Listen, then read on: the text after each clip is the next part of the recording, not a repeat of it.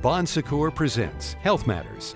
It's time for Health Matters. I'm Amie Carter here with Dr. Glenn Kerr, an orthopedic surgeon here at Bon Secours St. Francis Medical Center, and we're talking about knee and hip replacement with the Mako robotic arm. So, first, describe how it works. It allows the surgeon to obtain a preoperative CT scan and plan out the implants as they're going to go in at the time of surgery. The robotic arm is used just for a short period of time during the surgery for perfect reaming and implantation of the implants.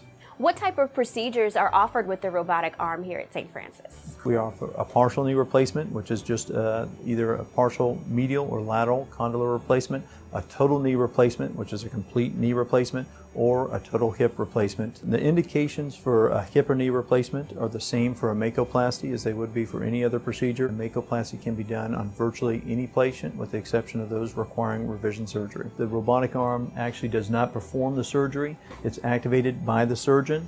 It holds the instruments rigidly, in this case the reamer, during the surgery, but it does not perform the surgery. Is there anything you'd like to add? I couldn't do this alone without the outstanding team members here at St. Francis, and that coupled with the Makoplasty robotic arm just offer incredible uh, ability for us to do hip and knee replacements here at St. Francis. Thanks so much for chatting with me. If you would like more information, just go to bonsecours.com slash Richmond.